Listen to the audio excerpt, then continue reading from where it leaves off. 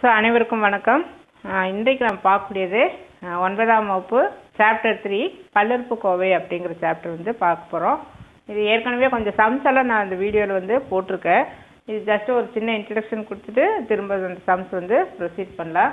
இந்த வீடியோவை நீ கோமதி மேக்ஸ் அப்படிங்கிற சேனலில் வந்து நீ பார்க்கலாம். அல்லது கோமதி தர்மராஜன் அப்படின்னு சொல்லி கூட போடலாம். இந்த வீடியோவை பார்க்குறவங்க நியூவாக இருந்தால் சப்ஸ்கிரைப் பண்ணுங்கள் ஏன்னா நீங்கள் சப்ஸ்கிரைப் பண்ணால் இது வந்து நான் வீடியோ போடப்போ உங்களுக்கு அது நோட்டிஃபிகேஷனில் வரும். And you please share it to others ஏன் அப்படின்னா ஒன்பதாம் வகுப்புக்கு ஆன்லைன் கிளாஸ் போகிறவங்களுக்கு இது வந்து யூஸ்ஃபுல்லாக இருக்கும் அப்படின்னு சொல்லி நினைக்கிறேன். இப்போ அந்த சாப்டர் வந்து என்னன்னு சொல்லி பார்க்கலாம். இப்போ உங்கள் வகுப்பில் ஒரு அப்ஜெக்டிவ் கொஸ்டின்ஸ் வந்து கொடுக்குறாங்கன்னு வை அப்ஜெக்டிவ் கொஸ்டின்ஸ் அப்படிங்கிறப்ப அதில் எத்தனை ஆப்ஷன் இருக்கும் நாலு ஆப்ஷன் இருக்கும். இல்லையா? அப்ஜெக்டிவ் டைப்பில் நாலு ஆப்ஷனில் இப்போ சப்போஸ் பிங்கிற ஆன்சர் சரியாக இருந்ததுன்னா டீச்சர் என்ன பண்ணுவாங்க? ஒரு மார்க் கொடுப்பாங்க. சப்போஸ் ஒரு ஸ்டூடெண்ட் வந்து இதை வந்து தவறாக மார்க் பண்ணிட்டா. சிங்கிற ஆப்ஷனை சூஸ் பண்ணிடுறா. அப்போ அங்கே என்ன ஆகும்? ஜீரோ ஏன்னா சி வந்து தப்பு பி தான் கரெக்டு அப்போ சரியான விடைக்கு ஒரு மதிப்பெண் தவறான விடைக்கு ஜீரோ அப்படின்னு சொல்லி போகுது. இது மீ- மாறவே மாறாது. ஏன்னா இப்போ ஒரு ஸ்டூடெண்ட்டு மிஸ்ஸுக்கு பிடிக்கும். அவங்களுக்கு உடனே இது வந்து இதுக்கு ரைட் போட்டு ஒரு மார்க்குன்னு கொடுக்க முடியுமா? முடியாது. இல்லையா? இதெல்லாம் பாசிபிளே இல்லை. சரியாக இருந்தால் ஒன்று போடு தவறாக இருந்தால் ஜீரோ போடுன்னு சொல்லிடுறோம். அப்போ இந்த மாதிரி ஒன்று ஜீரோ இந்த மதிப்பு வந்து மாறாமல் உள்ளது. அதனால் இதை நம்ம என்னன்னு சொல்கிறோன்னா மாறிலி அப்படின்னு சொல்லி ஒரு பெயர் கொடுக்குறோம். இதெல்லாம் ஏற்கனவே நீங்கள் படிச்சிருக்கலாம். ஜஸ்ட் ஒரு இன்ட்ரடக்ஷனுக்காக இது கொடுக்கப்படுகிறது. ஸோ மாறிலி என்றால் மாறாத மதிப்பு. அடுத்தது பிறகு இன்னொரு வார்த்தையை அறிமுகப்படுத்துகிறோம் ஸோ இப்போ அது அறிமுகப்படுத்தப்பட்ட வார்த்தை மாறிலி. அடுத்தது இப்போ ஒரு கட்டுரை எழுதுகிறேன் கட்டுரை எழுதுகிறப்போ மிஸ் ஒவ்வொருத்தருக்கும் ஒவ்வொரு மதிப்பெண் வந்து வெவ்வேறான மதிப்பெண். சில சமயம் கோயின்சைட் ஆகும். சேமாகவும் இருக்கும். ஜென்ரலாக வந்து மதிப்பெண்கள் வேரி ஆகும். மாறும். எதனால் மாறும்? அவருடைய ஹேண்ட் ரைட்டிங் அவருடைய ப்ரெசன்டேஷன் அந்த கருத்துக்கள் அதுக்கு தகுந்த மாதிரி அந்த கட்டுரையினுடைய மதிப்பு மாறிக்கொண்டே வரும். ஒரு ஸ்டூடெண்ட்டு ஃபோர் அண்ட் ஆஃப் இருக்கலாம் ஒரு ஸ்டூடெண்ட் ஃபைவ் இருக்கலாம் ஒரு ஸ்டூடெண்ட் சிக்ஸ் இருக்கலாம் ஸோ அதனுடைய பர்ஃபார்மன்ஸுக்கு தகுந்த மாதிரி மதிப்பெண்கள் மாறுகின்றன. அந்த மாதிரி மாறக்கூடிய இந்த மதிப்பெண்க்கு ஏதோ ஒரு பேர் கூட. சப்போஸ் இதை ஒய்ன்னு வச்சுக்கலாம். இதை நீ இஜெட் அப்படின்னு சொல்லி மாறிக்கலாம். இந்த மாதிரி மதிப்பெண்கள் மாறும் பொழுது மாறி வருங்க வரும் பொழுது அதுக்கு நம்ம வந்து ஜென்ரலாக இதை எக்ஸ் ஒய் இஜெட் இந்த மாதிரி ஜஸ்ட்டு எக்ஸ்ன்னு கூட வச்சுட்டு வேண்டாம் உனக்கு கன்ஃபியூஸ் ஆயிரும். இந்த மாதிரி மாறிக்கொண்டே வரக்கூடிய மதிப்பெண்களை நம்ம வந்து ஒரு இந்த மாதிரி small x small y small z then small a small b ஏன்னா ஸ்மால் ஏ ஸ்மால் பி எல்லாம் சம்டைம் கான்ஸ்டன்ட்டுக்கு நம்ம சொல்லுவோம். இதுவே ஜென்ரலாக வச்சுக்கோ. ஆர் எல் எம் என் இந்த மாதிரி எல்லாம் நம்ம சொல்கிற ஒரு லெட்டர்ஸ் வந்து கொடுத்துட்டு இதை வந்து நம்ம மாறி அப்படின்னு சொல்லி சொல்கிறோம் இது வந்து மாறிலி இதை மறைச்சிட்டு பாரு மாறி மாறினே என்ன? மாறிட்டே வருது. ஸோ அது பர்ஃபார்மன்ஸ் அந்த மாதிரி மாறிட்டே வர்றதுனால மாறி அப்படின்னு சொல்கிறோம் இந்த மாறியை குறிக்கிறதுக்கு நம்ம வந்து எக்ஸ் இஜெட் அப்படிங்கிற ஸ்மால் லெட்டர்ஸை நம்ம பயன்படுத்திக்கிறோம். ஸோ மாறிலி என்றால் மாறாதது மாறி என்றால் மாறக்கூடியது. அதுக்கு இதுக்கு த- அதனுடைய மதிப்பு வந்து வேரி ஆகிட்டே போகும். இந்த ரெண்டு வார்த்தைகளும் இந்த இந்த சாப்டரில் வந்து நம்ம பார்த்துட்டோம். உங்கள் புக்கில் ஒரு நம்பர் வந்து கொடுத்துருக்கு. என்ன அப்படின்னா ஃபைவ் எயிட் புக் எடுக்கிறதே சொல்கிறேன் ஃபைவ் ஃபோர் ஒன் எயிட் அப்படின்னு சொல்லி இருக்குது இந்த ஃபைவ் ஃபோர் ஒன் எயிட்டை நீ எல்லாத்துக்குமே தெரியும். இதை நீ எப்படி எழுதுவ? Five into thousand then four into hundred then one into ten plus eight அப்படின்னு சொல்லி எழுதியிருப்பேன் இது உனக்கு பிரிக்க தெரியும். இதை தௌசண்டை எப்படி எழுதுவ? டென் க்யூப் தென் இதை டென் ஸ்கொயர் தென் இதை டென் பவர் ஒன் இங்கே எட்டு அப்படின்னு சொல்லி எழுதிக்குவோம்.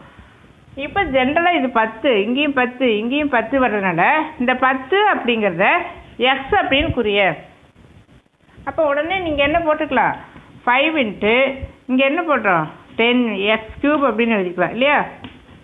ஏன்னா நம்ம எல்லாம் பத்து பத்து பத்துன்னு பொதுவாக வர்றதுனால அதுக்கு எக்ஸ்னு ஒரு பேர் கொடுத்து இங்கே எக்ஸ் க்யூப்னு எழுதுகிறேன். Then four into x square one into x plus எட்டு இந்த இன்ட்டுவெல்லாம் எடுத்துரு. இந்த மாதிரி எழுது. Five x cube four x square x plus எட்டு ஸோ கொடுக்கப்பட்ட ஒரு சாதாரண ஒரு எண்ணை. இந்த மாதிரி நம்மளுடைய பிரிக்க முடியுமானால் கிடைக்கக்கூடிய இந்த கோவை தான் நம்ம என்னன்னு சொல்கிறோம்னா பல்லுறுப்பு கோவை. ஸோ இது வந்து நம்ம இந்த சாப்டரில் பார்க்கக்கூடியது பல்லுறுப்பு கோவை. இந்த பல்லுறுப்பு கோவையை நம்ம என்னன்னு சொல்லலாம்னா இயற்கணித இயற்கணித அல் அல்ஜிபிரிக் எக்ஸ்பிரஷன். கரெக்ட் தான். இயற்கணித கோவை. இயற்கணித கோவை. பொதுவாக இயற்கணித கோவை என்னென்னா நம்மளுடைய மேத்ஸில் பேசிக்கான ஆப்ரேஷன் இது ப்ளஸ்ஸு மைனஸு தென் பெருக்கல் தென் வகுத்தல். ஸோ இந்த நான்குமே நான்குமே இருக்கணும் அப்படின்னுலாம் அவசியம் இல்லை. ஸோ இந்த குறியீடுகள் அடங்கிய உள்ள ஒரு கோவையை நாம் இயற்கணித கோவை என்று சொல்கிறோம். சப்போஸ் நம்ம இந்த இடத்துல ஒரு மைனஸ் போட்டுக்கிறேன் இந்த இடத்துல ஒரு ஃபோர் பை ஃபைவ் டிவைடு இந்த மாதிரி வந்துடுச்சு. ஸோ இந்த மாதிரி நான்கு கணித குறியீடுகள் அடங்கிய அந்த கோவையை இயற்கணித கோவை அப்படின்னு சொல்லி சொல்கிறோம் ஸோ இப்போ நம்ம பார்த்தது வந்து என்ன பார்த்தோம் மாறிலின்னு பா மாறிகள் பார்த்தோம் அடுத்தது பார்த்தீங்கன்னா இயற்கணித கோவைங்கிறத பார்த்துட்டோம். அடுத்தது வந்து கெழுக்கள் அப்படிங்கிற ஒரு விஷயத்த பார்க்குறோம். கெழுக்கள் அப்படின்னா இது எல்லாமே புக்கில் இந்த ஹெட்டிங் வந்து இருக்குது நீ கோத்ரூ பண்ணிக்க. கெழுக்கள் அப்படின்னா இதுக்கு இந்த எக்ஸ் கியூப்னு இருக்கு இல்லையா? இதுக்கு பக்கத்துக்குரிய வரக்கூடிய எண்ணெய் கெழு அப்படின்னு சொல்லி சொல்கிறோம் கோஎஃபிஷியன்ட் இங்கிலீஷில் கோஎஃபிஷியன்ட் இதனுடைய கெழு என்ன? மைனஸ் குறியோடு சொல்லணும். கெழுக்களை கூறும் பொழுது ப்ளஸ்ஸா மைனஸான்னு சேர்த்து சொல்லணும். ப்ளஸ்ஸுக்கு அவசியம் இல்லை மைனஸ் வந்தால் கண்டிப்பாக மைனஸ் சொல்லணும். இப்போ இதனுடைய கெழு என்ன? நாலு பை அஞ்சு. இது வந்து நம்ம கெழுன்னு சொல்ல மாட்டோம். இது தனியாக கான்ஸ்டன்ட்டும் கெழு என்பது இந்த மாதிரி x x squared x cube இதெல்லாம் வருது இல்லையா? இதற்கு அருகில் உள்ள எந்த கெழு இதில் நீ கவனமாக இருக்க வேண்டியது மைனஸ் இருக்குது அப்படின்னா கண்டிப்பாக அந்த மைனஸ் சைனை சேர்த்து தான் நீ எழுதணும். உங்கள் புக்கில் பார்த்தீங்கன்னா ஒரு மூன்று படங்கள் கொடுக்கப்பட்டுள்ளது. Three point one three point two three point three அதில் என்ன இப்போ சொல்ல வர்றாங்க அப்படின்னா இங்கே ஒரு ஃபுட்பால் பிளேயர் வந்து பாலை கிக் பண்ணுறப்பல கிக் பண்ணுறப்ப என்ன ஆகும் அந்த ஸ்பீடுக்கு தகுந்த மாதிரி இப்படி போகும். ஸோ பாலினுடைய பிகினிங் ஸ்டேஜு இங்கே வருது இங்கே வருது இந்த மாதிரி இப்படி போகுது. ஸோ அந்த நேரத்தை பொறுத்து இந்த பாலினுடைய உயரம் ஸ்பீடை பொறுத்து அதிகரிச்சுட்டே போயிட்டு அப்புறம் கீழே வருது. ஸோ சப்போஸ் இந்த இடத்துல பால் வந்திருக்கு அப்படின்னா இதனுடைய உயரம் என்னென்னா இப்படி ஜாயின் பண்ணிக்கிறேன். ஸோ இந்த டிஸ்டன்ஸை எக்ஸ்ன்னு வச்சுக்கிறோம். இந்த டிஸ்டன்ஸை ஒய் அப்படின்னு சொல்லிக்கிறோம். இது கூட நம்ம கண்டுபிடிக்கலாம். இது நமக்கு இப்போ அவசியம் இல்லை. ஸோ அந்த நேரத்தை பொறுத்து இந்த உயரம் மாறிக்கொண்டே செல்கிறது அப்படின்னு சொல்லி இந்த கான்செப்டை இந்த படத்தில் சொல்லியிருக்கிறாங்க. இன்னொரு படத்தில் பார்த்தீங்கன்னா கிரிக்கெட் பேட்டு அங்கேருந்து பால் வருது இங்கேருந்து ஹிட் பண்ணுறாங்க இல்லையா? அதனால தான் இங்கேருந்து போகல. ஒரு மனிதன் வந்து சாரி கிரிக்கெட் பிளேயர் வந்து இந்த இடத்துல இப்படி நிற்கிறாரு பேட் வந்து கையில் வச்சுருப்பாங்க இல்லையா? அப்போ இந்த இடத்துல இருந்து இப்படி போய் இந்த மாதிரி வருது. அப்போ இதுக்கும் அப்படிதான் டி நாட் அப்படிங்கிற நேரத்தில் இருக்கக்கூடிய ஹைட் வந்து ஹெச் நாட் டி ஒன்கிற நேரத்தில் இருக்கக்கூடிய ஹைட் வந்து தென் ஹெச் ஒன் டி த்ரீங்கிற நேரத்தில் இருக்கக்கூடிய ஹைட் வந்து ஹெச் த்ரீ அப்படின்னு சொல்லி இதுவும் அந்த நேரத்துக்கு தகுந்த மாதிரி நேரம் குறைய குறைய அதனுடைய டிஸ்டன்ஸும் என்ன ஆகும் குறைஞ்சிட்டே வரும் அப்படிங்கிற இந்த கான்செப்டை அடுத்த படத்தில் சொல்லியிருக்கு. அடுத்தது பார்த்தீங்கன்னா ஒரு பாலம் வந்து அந்த த்ரீ பாயிண்ட் த்ரீ அந்த படத்தில் வந்து இந்த மாதிரி ஒரு பாலம் இருக்குது இந்த பாலம் வந்து இந்த கான்செப்டில் தான் அவங்க வந்து பண்ணுறாங்க எப்படி அப்படின்னா சப்போஸ் இதை வந்து ஒய் ஈக்குவல் டு எக்ஸ் அப்படிங்கிற ஒரு இதை வந்து எடுத்துக்க. அதாவது ஜ- உனக்கு ஒய்னால இங்கே நம்ம சொல்லலை. ஜஸ்ட்டு எக்ஸ்கொயர்டுன்னு எடுத்துக்க. இப்போ தானே பார்த்தோம் எக்ஸ் கியூப் எக்ஸ் ஸ்கொயர்டு இதெல்லாம் பார்த்தோம்ல இந்த எக்ஸ் ஸ்கொயர்டு அப்படிங்கிறதுல இப்போ எக்ஸுக்கு வந்து ஜீரோன்னு போட. இதோட மதிப்பு கிடைக்கிற மதிப்பை நீ ஒன்று ஜீரோன்னு வச்சுக்கோ. ஸோ எக்ஸுக்கு ஜீரோ போட்டால் ஒய்க்கு ஜீரோ எக்ஸுக்கு ஒன்று போட்டால் ஒய்க்கு ஒன்று. எக்ஸுக்கு ரெண்டு போட்டேன்னா ஒய்க்கு எட்டு. தெரியும். டூ கியூப் டூ ஸ்கொயர்டு என்ன? நான்கு. இல்லையா?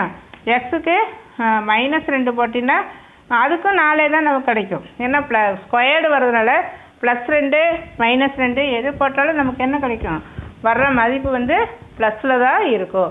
சரி இதனுடைய படம் வந்து எப்படி வருது அப்படின்னு சொல்லி பார்த்தீங்கன்னா இங்கே ஜீரோ ஜீரோ இருக்குமா? ரெண்டு நாலு எங்கே இருக்கும்? இங்கே ரெண்டு இந்த இடத்துல நாலு. மைனஸ் ரெண்டு நாலு எங்கே இருக்கும்? இங்கே மைனஸ் ரெண்டு தென் நாலு வந்து இப்படி இருக்கும். ஸோ இது எல்லாத்தையும் இணைச்சின்னா இந்த மாதிரி ஒரு படம் வந்து கிடைக்கும். இது வந்து நம்ம அந்த மாறு மா மாறி அப்படிங்கிறதுக்கு ரொம்ப ஒரு சிறந்த உதாரணமாக இருக்குது ஒவ்வொரு மதிப்பும் மாறிட்டே போகுது. அடுத்தது பார்த்தீங்கன்னா சப்போஸ் இதை வந்து மைனஸ் எக்ஸ் ஸ்கொயர்டு அப்படின்னு சொல்லி வை. மைனஸ் எக்ஸ் ஸ்கொயர்டு வந்து அப்படியே டவுனாக வரும். இந்த படமே என்ன ஆகும் அப்படியே டவுனாக வரும். இதை போட்டு காமிக்கணும்னு கூட உனக்கு அவசியம் இல்லை. இந்த மாதிரி வரும் படம். இதுதான் அந்த பாலம் இப்போ இப்போ த்ரீ பாயிண்ட் த்ரீ வருது இல்லையா? அந்த படத்தில் வரக்கூடிய அந்த அமைப்பு வந்து இப்படி வரும். எப்படி மீன்ஸ் டவுனாக வருது அப்படின்னா இந்த இடத்துல மைனஸ் இருக்குது அப்போ இந்த ஆன்சர்ல எல்லாம் அப்படியே இங்கே மைனஸ் போட்டுக்கலாம் இல்லையா? ஒன்றுன்னு போட்டு ஜீரோ ஜீரோ அப்படியே விட்டுரு. ஒன்றுன்னு போட்டால் இங்கே என்ன கிடச்சிது நமக்கு? மைனஸ் ஒன்றுன்னு போட்டுரு ரெண்டுன்னு கிடச்சிதுன்னா மைனஸ் நாலு. தென் மைனஸ் ரெண்டுன்னு போட்டிங்கன்னா அது ஸ்கொயர்டு போடுறப்போ ஸ்கொயர்டுக்குள்ளே மைனஸ் இருக்கிறப்போ அது ப்ளஸ்ஸே தான். இந்த மைனஸ் நமக்கு வெளியில் இருக்கும் மைனஸ் நாலு அப்படின்னு சொல்லி கிடைக்குது. அப்போ பாரு இங்கே ஜீரோ ஜீரோவா ஒன்று மைனஸ் ஒன்று ஒன்று மைனஸ் ஒன்று. சும்மா ஷார்ட்டாக இந்த இடத்துல போட்டுக்க. தென் ரெண்டு மைனஸ் நாலு. ரெண்டு மைனஸ் நாலு அப்படின்னா இந்த இடத்துல. அதே மாதிரி இங்கே இந்த பக்கம் நான் இன்னொன்று கூட போடலாம் மைனஸ் ஒன்று ஒன்று இந்த இடத்துல மைனஸ் ரெண்டு மைனஸ் நாலு. ஸோ இதை எல்லாமே இணைக்கும் பொழுது அந்த பாலத்தினுடைய வடிவத்தில் நமக்கு கிடைக்குது. ஒன்பதாம் வகுப்பில் உனக்கு இந்த அளவுக்கு தெரிஞ்சாவே போதும். ஸோ இது எல்லாமே இன்ட்ரடக்ஷன் ஸ்டேஜில் வரக்கூடியது. அதே மாதிரி ஒரு ஸ்கொயர் மாதிரி போட்டிருக்கு பாரு. இப்போ நீங்கள் வந்து மிஸ்ஸு சொல்கிறாங்க ஒரு சதுரம் வர அப்படின்னு சொல்லி. என்ன அளவு வேணாலும் அவங்க எடுத்துகிட்டு வரைங்க குறிப்பிட்டு சொல்லலை. சதுரம் வரைக அப்படின்னா ஒரு ஸ்டூடெண்ட் வந்து இப்படி ரெண்டு சென்டிமீட்டர் வச்சு எல்லாமே ஈக்குவலாக இருக்கிற மாதிரி சொல்லணும் ஒரு ஸ்டூடெண்ட்டு அப்போ இதில் நாலு அப்படின்னு வச்சுட்டு இந்த மாதிரி போடக்கூடியது. ஸோ எந்த மதிப்புமே ஓ இப்படி இப்படி கூட சொல்லியிருக்காங்க. அதாவது டூ எக்ஸ் அப்படின்னு சொல்லிட்டு அப்படின்னா எக்ஸனுடைய மதிப்புக்கு தகுந்த மாதிரி இப்போ சப்போஸ் எக்ஸுக்கு ஒன்றுன்னு போடுறேன். ஒன்றுன்னு போட்டால் இந்த இந்த படம் நமக்கு கிடைக்கும். அடுத்தது எக்ஸுக்கு ரெண்டு அப்படின்னு போட்டீங்கன்னா ரெண்டு ரெண்டு நாலு. இந்த படம் வந்து கிடைக்கும். ஸோ ஒவ்வொரு மதிப்பெண் ஒவ்வொரு மதிப்பும் போட போட அந்த படத்தினுடைய அளவு வந்து மாறிட்டே போகுது அப்படிங்கிறது இந்த மாறி அப்படிங்கிறதுக்குரிய எல்லா உதாரணத்தையுமே சொல்லியாச்சு. அடுத்த கிளாஸில் நம்ம இந்த எடுத்துக்காட்டு கணக்கை வந்து பார்க்க போகிறோம் தேங்க்யூ